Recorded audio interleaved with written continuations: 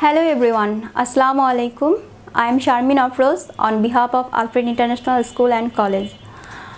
I hope that you all are fine. As we are passing a pandemic time, yet we have to be very patient and careful about everything.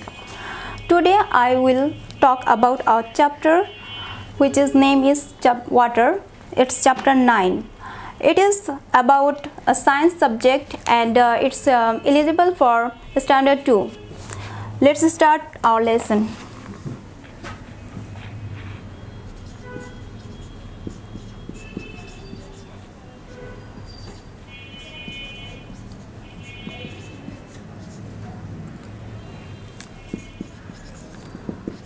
We will start our lesson from page 70 and it was about water.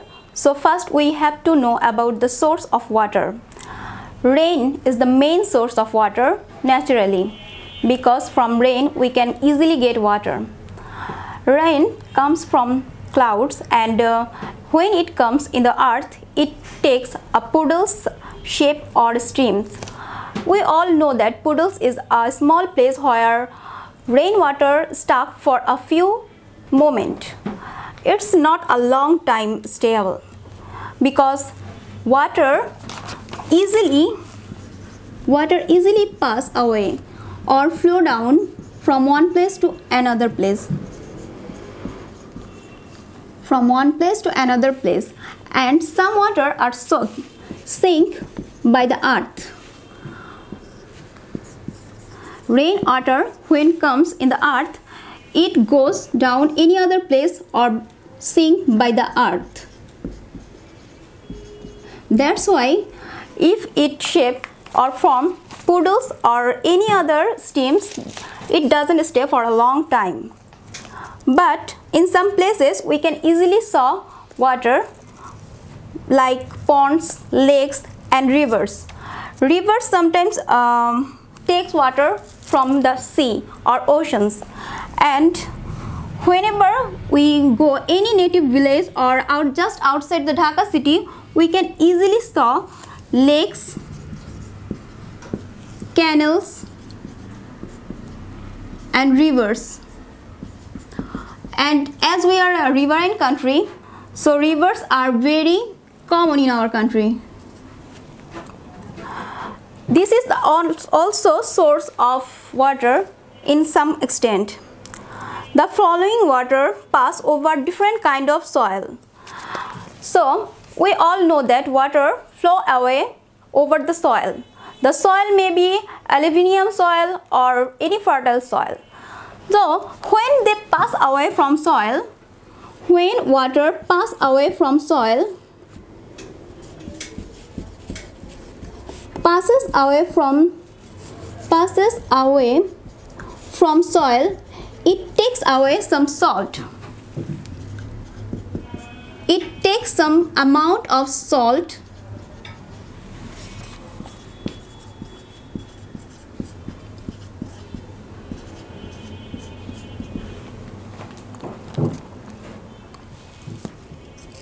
It take away some amount of salt with it.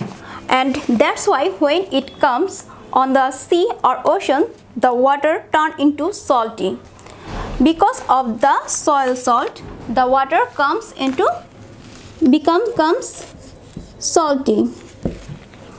That's why whenever we tasted any sea or ocean's water it feels salty. Let's go to the next page. As we already mentioned that as i already mentioned that human needs water.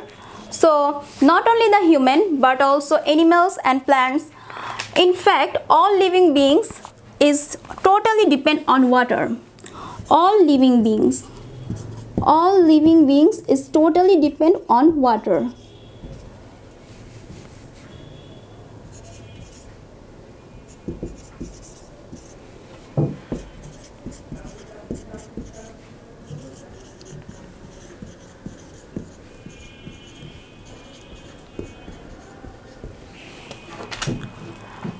So we need water on our daily basis. But rain doesn't occur in the everyday in our life That's why we have to search for another source of water. That's why we dig wells and we can make uh, dams by by providing any block um, throughout the rivers and whenever we try to block a following rivers by putting something on it that time we use the water for our daily basis like our native villages. We must uh, do similar things to use water like dams. Dams means obstacle that obstacle that preserve some water from river.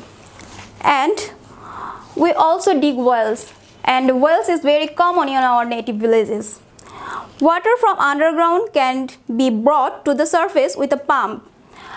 As we already know that our our country has a riverine country so in the underground there is a huge amount of water. So anyone can easily get this water through pump. By establish a pump on their um, on their houses anyone can pull the water from the underground to the surface in some places there are natural spring also. Everyone know the natural spring. Natural spring means a spring that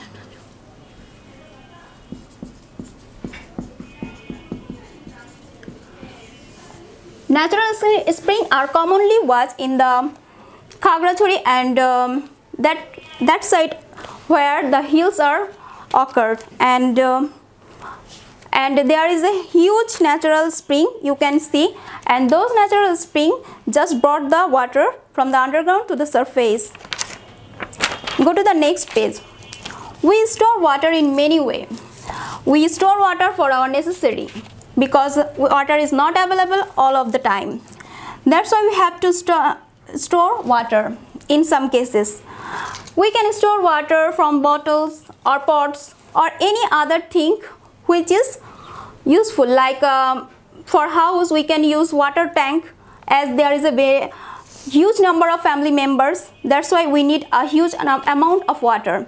That's why we can use a large water tank. Or if uh, we want to store, water in a small amount that time we can uh, use bottles or pots and any other reservoirs.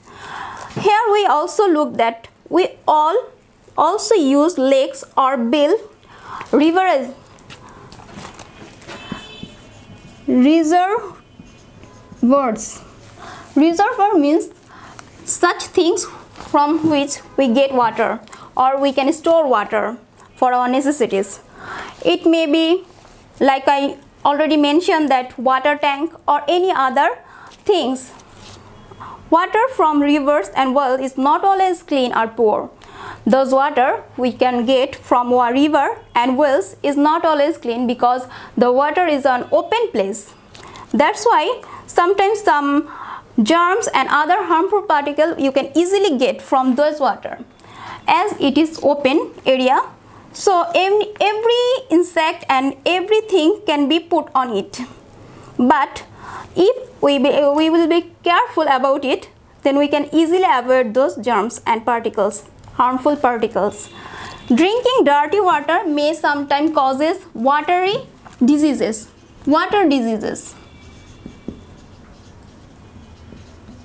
Water diseases which is water related and it may cause very harmful for our health. So drinking dirty water can also make us very ill and we will be suffer for that. That's why whenever we drink any water, we should make sure that the water is clean and pure. Now talk about evaporation. About page 72, the most important topic of the chapter, evaporation and condensation evaporation you can call it exhalation.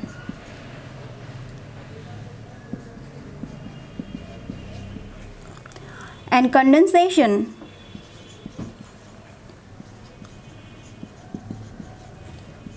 You can call it fixation.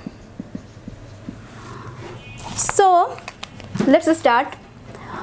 Evaporation is when water is heated it turn into water vapor water vapor. Water vapor. Water vapor is such thing when we heat any water in a pot there is something on the air just up the pot. It was a tiny water droplet and when we water evaporate cool down it from tiny drop of water when we cool down the water vapor when we cool down cool down the water vapor it turns into tiny water droplet. It turns it turns tiny water droplet.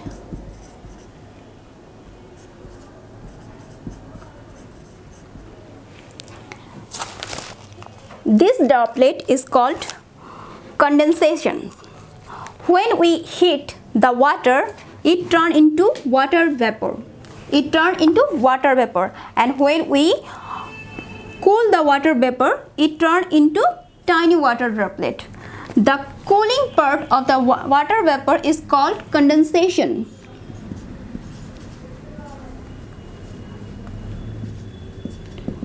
The cooling down procedure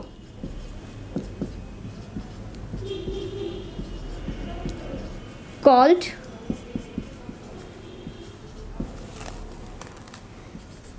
condensation. And the heating procedure and the heating procedure is called evaporation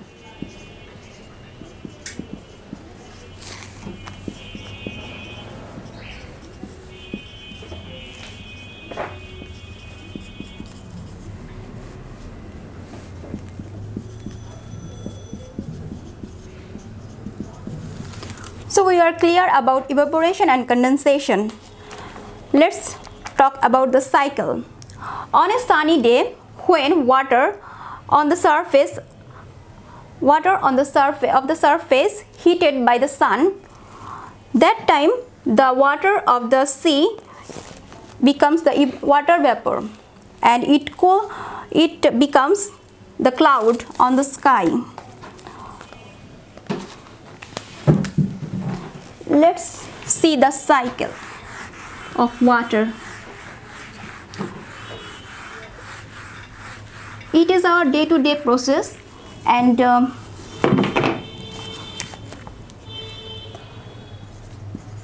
when sun heated the seawater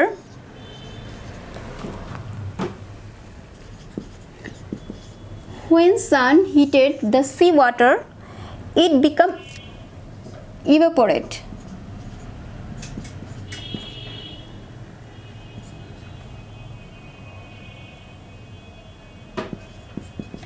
It become evaporate and turn into cloud in the sky. In the sky. It become evaporate and turn into cloud in the sky. When there is a lots of cloud, when there is a lots of cloud,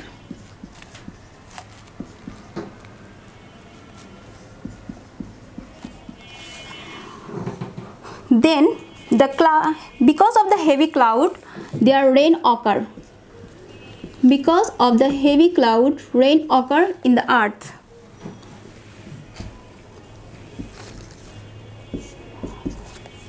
And water came in the earth. Water came in the surface of the earth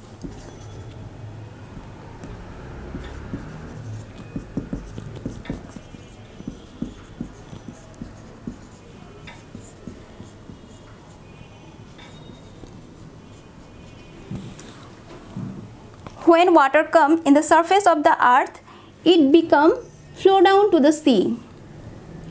Flow down to the sea. And the water of the sea again evaporate because of the heat of the sun and it becomes cloud. And the same procedure goes on. This circle is called water cycle this cycle is called water cycle and the procedure is going on and on. And we can easily see that how water cycle is goes on. So i think that this cycle will help you to understand the lesson properly. And anyone can note it then you can note it down. It will be helpful for you in the future. Thank you everyone for stay with me such a long time. Assalamu alaikum